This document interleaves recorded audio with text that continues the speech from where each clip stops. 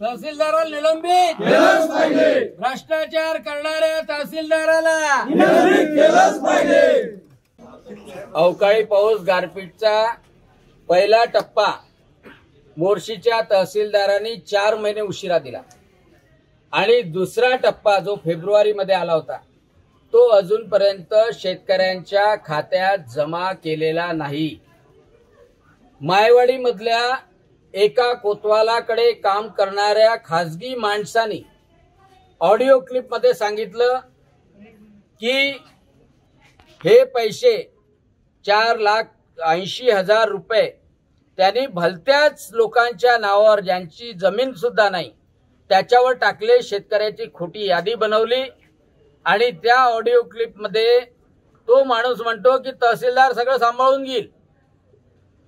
आणि त्याच्यानंतर जेव्हा पाहिलं तर पिंपळकुटा मोठामध्ये शेतकऱ्यांना दुसरा टप्पा मिळाला नाही निंबीमध्ये दुसरा टप्पा मिळाला नाही खेडमध्ये मिळाला नाही उदखेडमध्ये मिळाला नाही पोरगावांमध्ये मिळाला नाही.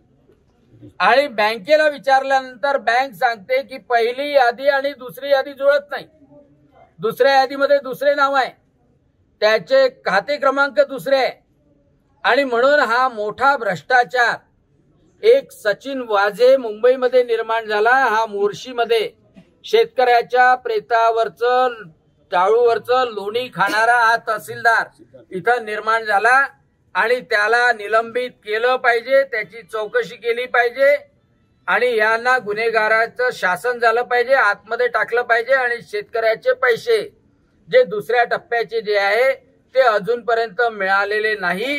ते शेतकऱ्यांच्या खात्यात जमा केले गेले पाहिजे. यासाठी आम्ही या तहसीलदाराच्या कार्यालयाला कुलूप लावलंय.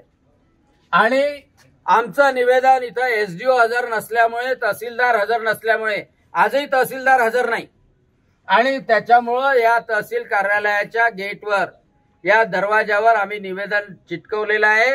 जिल्हाधिकाऱ्यांनी महसूल मंत्र्यांनी मुख्यमंत्र्यांनी याची दखल घ्यावी की संपूर्ण मोर्शी वरुड तालुक्यामध्ये या अधिकाऱ्याच्या मार्फत भ्रष्टाचार सुरू आहे आणि भ्रष्टाचाराचा केलेला पैसा जमा केलेला पैसा तो रेतीमधला पन्नास पंधरा लाख रुपये महिना असो किंवा श्रावणबाळ संजय गांधीमध्ये एकेकाकडून घेतलेले पाच पाच हजार रुपये असो किंवा हे अवकाळीचे पा- आलेले पैसे हे खाल्लेले पैसे असो याचा हप्ता वर पोहोचवल्या जाते.